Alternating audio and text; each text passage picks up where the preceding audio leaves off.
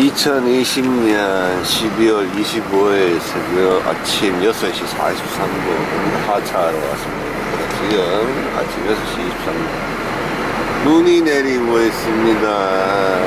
눈이 크리스마스에 눈이 내리고 있고 화이트 크리스마스네요. 화이트 크리스마스.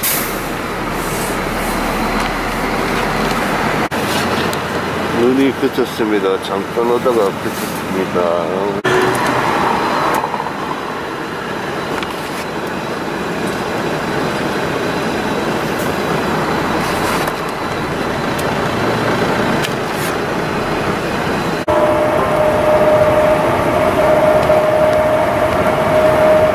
아, 간밤에 내린 눈 때문에 에, 고속도로 도로 부분 얼어, 얼어 있습니다 반짝반짝거리는 미래가 수가 눈에 다 보입니다 이렇게.